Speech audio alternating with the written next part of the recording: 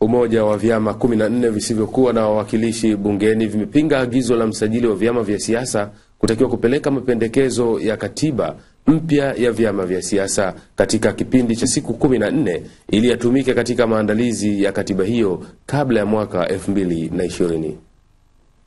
Mwenyekiti wa umoja huo Renatus Muhabi akizungumza na waandishi wa habari pamoja na viongozi wa vyama hivyo 14 amesema tayari wameandika barua ya kupinga muda uliopewa siku 14, lakini pia kutokuwa na rasimu ya mapendekezo ya katiba mpya ya vyama vya siasa.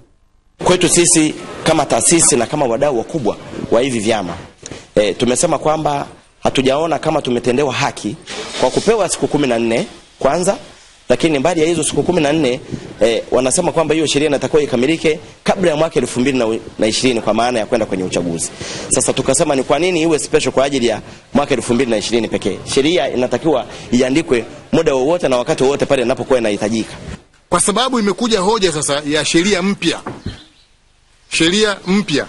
Tafasiri yake ni kwamba yale maoni tuliyoyatoa elfu mbili na kumi na nne yamepitwa na wakati.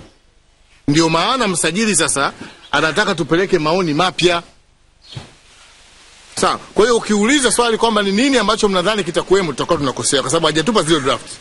Wakati huo huo, umoja huo umelaani vitendo vya uvunjifu wa amani, vitendo vya uhalifu pamoja na matukio yaliyotokea hivi karibuni yakiwemo ya kujeruhiwa kwa mwanasheria wa Chadema Tundu Lissu pamoja na meja jenerali mstaafu Vincent Mritaba na kuwataka wananchi kutoshabikia vitendo hivyo na kutoa ushirikiano kwa vyombo vya dola ili vifanikishe kuwanasa wahalifu wanaendesha vitendo hivyo. Ungana pia hata na rais wa Jamhuri ya Muungano ambaye alizungumza hadharani kwamba hakufurahia hilo tukio.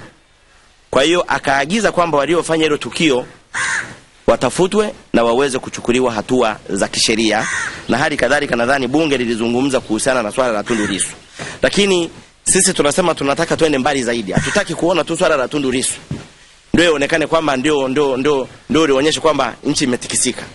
Kuna mambo mengi sana ambayo nadhani tulipaswa kuwa na kauli moja, kuanzia huko Kibiti, mauaji ya polisi nayo yanaendelea. Kwa hiyo tusiwe, tu, tu, tusiweke tension ya kuonyesha kwamba kuna mtu ambaye ana thamani zaidi ya watu mia au mia moja ambao wamewahi kutangulia kusibiwa na haya. Sasa Hamisi Suleiman, Channel 10, Dar es Salaam.